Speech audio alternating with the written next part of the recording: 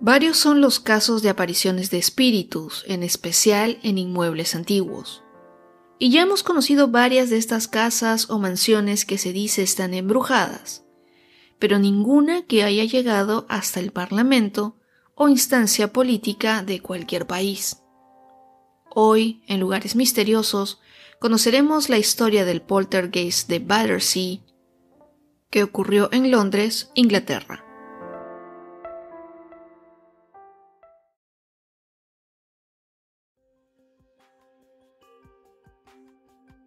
Antes de comenzar, debo aclarar un término que usaremos constantemente y es poltergeist. Este es un fenómeno extraño o paranormal que engloba cualquier hecho perceptible de naturaleza violenta y diferente a las leyes físicas, y es producido por una entidad o energía imperceptible se usa coloquialmente para definir eventos o acontecimientos violentos que suceden en lugares embrujados y que no se pueden explicar fácilmente. Algunos de los fenómenos poltergeist que se conocen son los ruidos inexplicables, movimientos de objetos inanimados, materialización y desaparición de objetos, además de olores desagradables y ataques físicos. Según la parapsicología, la entidad que causa estos ataques o fenómenos es un fantasma o entidad asociada a alguien que ya murió, muchas veces en ese lugar, o en algunos casos es provocado por telequinesis inconsciente, derivada de estrés o tensión emocional de una persona. Es decir, ésta exterioriza su estrés en fenómenos poltergeist. Estos fenómenos llevan reportándose desde principios de la humanidad, en la mayoría de las culturas y países, y es ahora, con la era tecnológica, cuando son registrados en imagen, video o audio. Entonces, conociendo ya lo que es un poltergeist, podemos entrar de lleno en nuestro episodio. En el Reino Unido existió un caso poltergeist muy importante que fue el misterio de la casa de Battersea que también se conoció como el fantasma de Battersea o el poltergeist de Battersea, que dominó la vida de una joven y su familia por más de 10 años. La historia comienza con la aparición de una llave de plata muy antigua que apareció sobre una cama de la casa de la familia Hitchins en el barrio de Battersea en 1956. Este vecindario al sur de Londres era un lugar donde vivía gente trabajadora, básicamente clase media, y fue ahí, en el número 63 de la calle Wycliffe, donde se desarrolló esta historia paranormal tan famosa. Los integrantes de esta familia eran el padre Wally, de 40 años aproximadamente, que era un hombre alto y delgado que se dedicaba a conducir trenes en el metro de Londres, su esposa Kitty, que era un poco mayor que él y trabajaba como empleada en una oficina. El matrimonio tenía una hija de 15 años llamada Shirley, que estaba a punto de comenzar la escuela de arte y trabajaba a tiempo parcial como costurera en la tienda Selfridges. Los otros residentes de la casa eran la madre de Wally, Ethel, un personaje colorido conocido localmente como Old Mother Hitchins o la abuela Hitchins, y su hijo adoptivo John, un topógrafo de unos 20 años al que Shirley consideraba un hermano.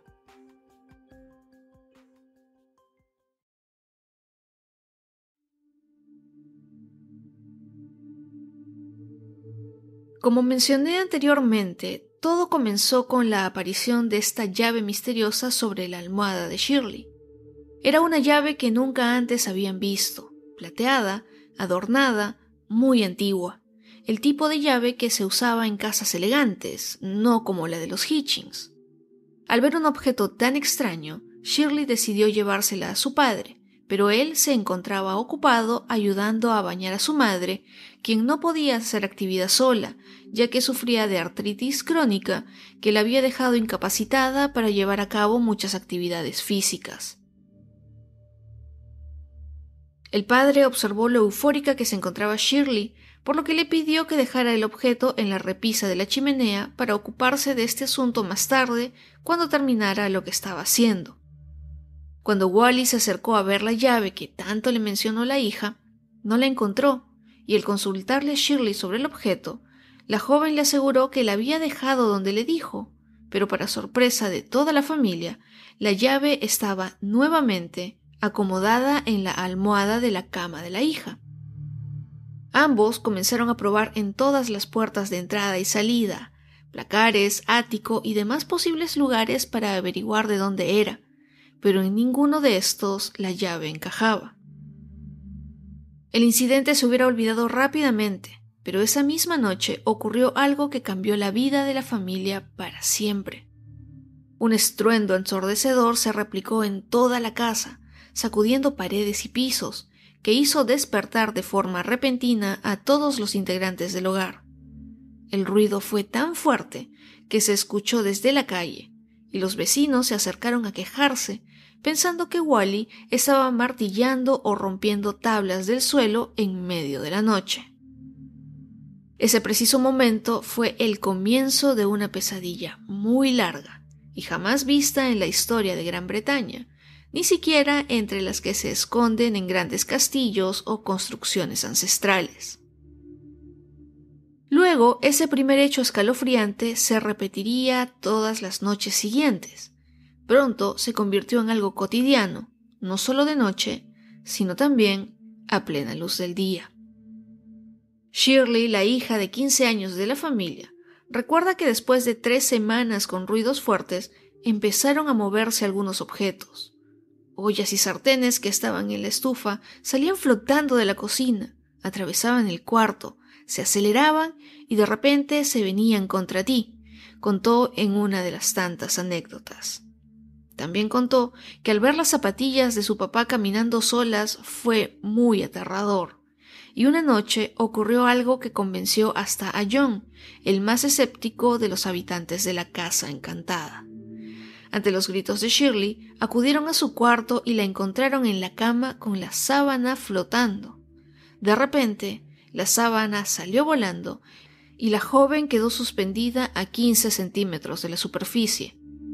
Frente a todos estos acontecimientos, y que se comenzara a difundir los hechos que sucedían entre los ciudadanos, un medium psíquico se ofreció a realizar un exorcismo para eliminar a la entidad que estaba en la casa, la misma que la familia había llamado Donald, y ellos, debido al cansancio y la desesperación, aceptaron.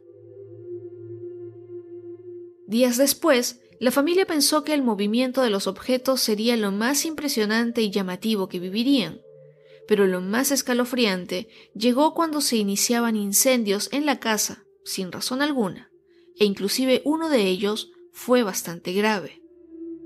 Durante una de las sesiones de espiritismo, esta fue interrumpida por la policía, que estaba respondiendo a una denuncia de que se estaba practicando magia negra para conjurar al diablo en la residencia de los Hitchins.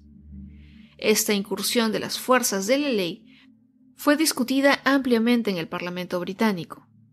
Tal fue la magnitud del caso que se convirtió en una importante noticia nacional que protagonizó titulares que hablaban sobre ruidos extraños, objetos voladores, exorcismos y comunicación con fantasmas. Y luego apareció la primera de muchas teorías sobre lo que estaba ocurriendo en la casa de los Hitchings. Según el diario Daily Mail, los ruidos los producía Shirley con un dedo de su pie, debido a una deformidad conocida como dedo en martillo, algo que no fue aceptado por la familia y por quienes habían sido testigos de los fenómenos poltergeist. Una noche, en octubre, Donald aparentemente los llamó y cuando toda la familia estaba reunida, en medio de murmullos de personas invisibles, oyeron la voz de una mujer llamada Sara, que resultó ser la madre de la abuela. Esta nunca se recuperó de la impresión y en pocos meses murió. Eventualmente la prensa perdió interés en la historia, pero Donald no desapareció de la vida de los Hitchings. De hecho, encontró otras maneras de comunicarse con escritos que aparecían en las paredes e incluso en el papel, algo que se conoció como las cartas del fantasma. En marzo de 1956, un investigador de apellido Chivet, quien nunca dejó de interesarse en el caso, junto a Shirley, lograron comunicarse con Donald usando cartas con letras y números, preguntando y recibiendo golpes como respuesta. El fantasma les había dado un año, 1720, una dirección y varios nombres. El estudio de este y otros mensajes llevaron al investigador a concluir que Donald era Luis XVII, el príncipe perdido, heredero del trono de Francia y el hijo menor de los reyes guillotinados Luis XVI y María Antonieta. A partir de ese momento, Chivet se obsesionó más y pasó cada minuto posible tratando de probar esa teoría. Entretanto, la familia seguía viviendo con Donald, tan convencidos de que era real que obedecían todos sus deseos. La sala de la casa se convirtió en su habitación, en la que encontraban las muñecas de Shirley sentadas en círculo y en la noche lo escuchaban tamborileando al ritmo de la música de la televisión. Era ahí también donde dejaba sus cartas, indicando desde cómo debía vestirse Shirley hasta mensajes para estrellas de cine que le gustaban. En 12 años aparecieron unas 3.000 notas, hasta 60 en un solo día, algunas dirigidas a Chivet, quien cuando no podía ir a la casa de los Hitchings le escribía, y su comportamiento, según se reportaba, era siempre dominante si no le gustaba lo que estaba por suceder, como que Shirley estuviera planeando empezar a trabajar, se comportaba de forma violenta.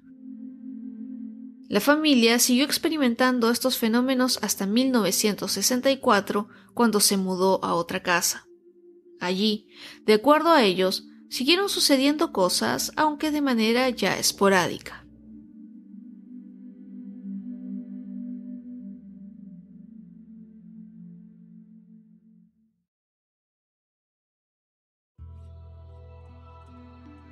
Después de varios años, Shirley dio declaraciones a la prensa en las que recordaba que siempre le echaban la culpa de las manifestaciones, que no podía ser otra persona más y que tenía algo malo en ella.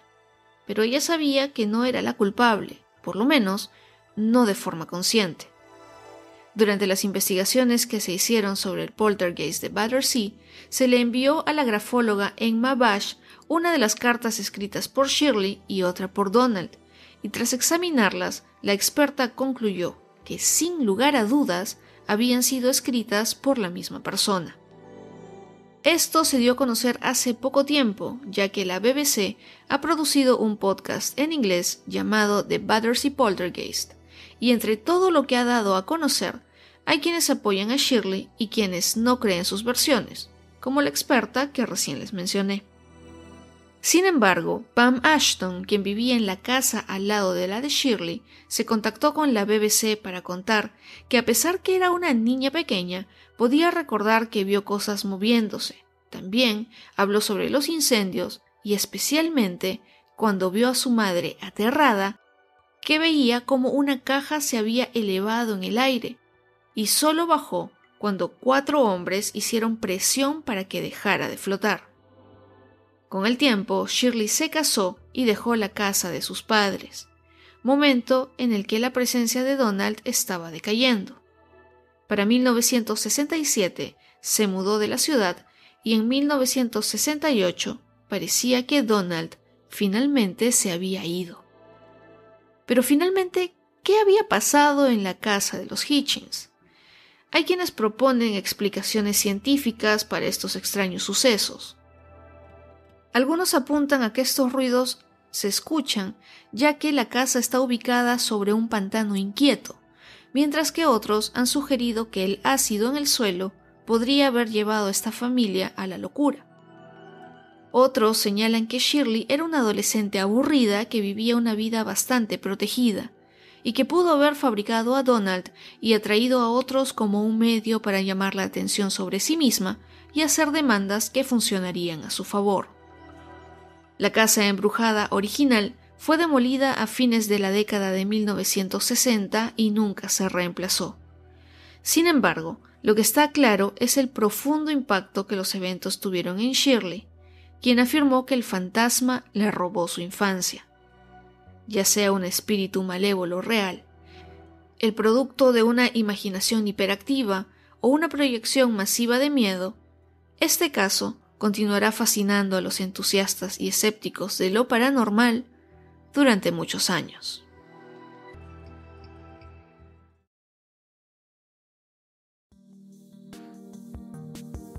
Del número 63 de la calle Wycliffe ya no queda nada, y el barrio se ha burguesado significativamente, por lo que ahora se encuentran negocios, edificios y cada vez menos casas como las de la familia Hitchings. Sin embargo, el fantasma de Battersea no ha dejado la memoria de los londinenses, y menos la de los curiosos como nosotros, que disfrutamos conocer este tipo de historias. Como les comenté, la BBC ha publicado recientemente un podcast sobre este caso tan particular. Los episodios están en inglés, es una especie de documental con secciones de ficción y está en la mayoría de las plataformas si es que lo quieren escuchar.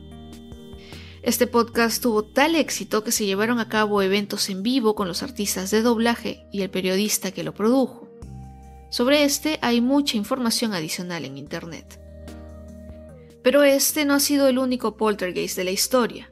Hay muchísimos más, e inclusive se han hecho muchas películas, siendo la más conocida la que se llamó casualmente Poltergeist y que se ha convertido en una película de terror clásica.